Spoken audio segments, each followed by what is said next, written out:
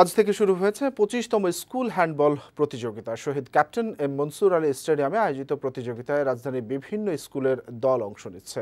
অংশ নিতে আসা খেলোয়াড় এবং কোচ জানালেন, নিয়মিতভাবে আরও বেশি টুর্নামেন্ট আয়োজন করলে হ্যান্ডবলে উন্নয়ন সম্ভব। রিফাত আঞ্জুমের প্রতিবেদন। ঢাকায় শুরু হয়েছে স্কুল হ্যান্ডবল প্রতিযোগিতা। দেখতে দেখতে পঁচিশটি বছর পার করেছে এই আসর। এবারে রাজধানীর বিভিন্ন স্কুলের বিশটি বালক ও ষোলোটি বালিকা দল অংশ নিচ্ছে। আর এই প্রতিযোগিতার প্রতিটি আসরে অংশ নিয়েছে ঢাকার ঐতিহ্যবাহী শিক্ষা প্রতিষ্ঠান ভিকারুন্নেসানুন স্কুল অ্যান্ড কলেজ। টানা বারো বার সহ মোট ষোলোবার চ্যাম্পিয়ন হয়েছে স্কুলটি।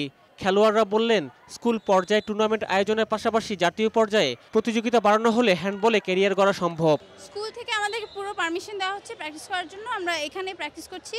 তারা যেন ন্যাশনাল লেভেলের একটা টুর্নামেন্ট অর্গানাইজ করা হয় যাতে যেটাতে আমরা ন্যাশনাল লেভেলে খেলতে পারব। দলের কোচ জানালেন নিয়মিত টুর্নামেন্ট আয়োজন করলে প্রতিদ্বন্দ্বিতা বাড়ে ফলে হ্যান্ডবলের উন্নতির পাশাপাশি ভালো ভালো খেলোয়াড় তুলে আনাও সম্ভব। বাচ্চাগুলো যেমন নিয়মিত খেলতে পারে যত খেলা হবে তারা এক্সপিরিয়েন্স বাড়বে তাদের অভিজ্ঞতা বাড়বে এবং আমাদের হ্যান্ডবল উন্নতি হবে। এদিকে হ্যান্ডবলের উন্নয়নে সব ধরনের সহযোগিতার আশ্বাস দিয়েছেন এই দলের তত্ত্বাবধায়ক দক্ষিণ সিটি কর্পোরেশনের ওয়ার্ড কাউন্সিলর মারুফ আহমেদ মনসুর। আমার পক্ষ থেকে এই হ্যান্ডবল প্রতিযোগিতাকে বা হ্যান্ডবল টুর্নামেন্টকে হ্যান্ডবলের পৃষ্ঠপোষকতা হিসেবে সহযোগিতা করতে চাই।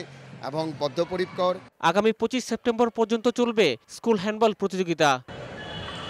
রিফাত আঞ্জুম, বৈশাখী সংবাদ, ঢাকা।